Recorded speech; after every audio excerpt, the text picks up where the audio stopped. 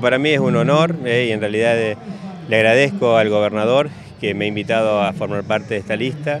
Eh, bueno, nosotros estamos en un lugar que es poco expectable, en el séptimo lugar, sí, para acompañar a este proyecto de Hacemos por Córdoba y principalmente a quienes resulten electos como diputados de Hacemos por Córdoba para que defiendan en el Congreso Nacional eh, los intereses de Córdoba. Eh, ese es nuestro principal objetivo y al menos retener las dos bancas que hoy, hoy tenemos eh, como, como, partido a nivel provincial en el Congreso Nacional. ¿no?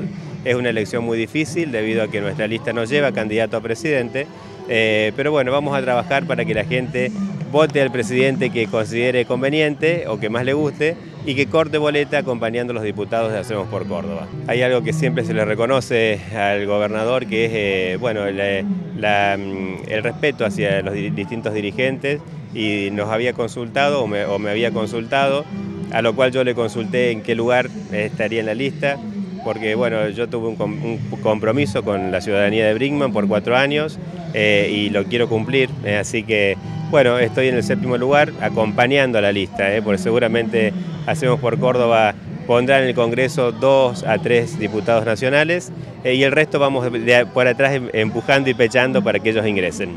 Seguramente, pero ¿existe algún ofrecimiento en el día de mañana de formar parte de alguna secretaría, alguna dirección dentro del gobierno provincial? ¿Eso ya se está hablando dentro del gabinete municipal?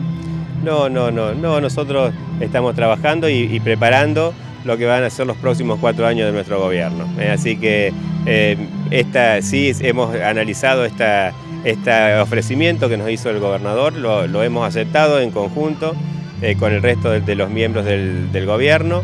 y bueno, pero nosotros estamos trabajando para gobernar los próximos cuatro años Brinkman. La última, pero si le ofrecen alguna secretaría en el gobierno provincial, eh, ¿aceptaría? No, la verdad que ni siquiera lo analicé. Eh. Reitero, estamos trabajando para, para seguir otros cuatro años más en Brinkman, ¿no? Así que, y lo hacemos con mucho gusto.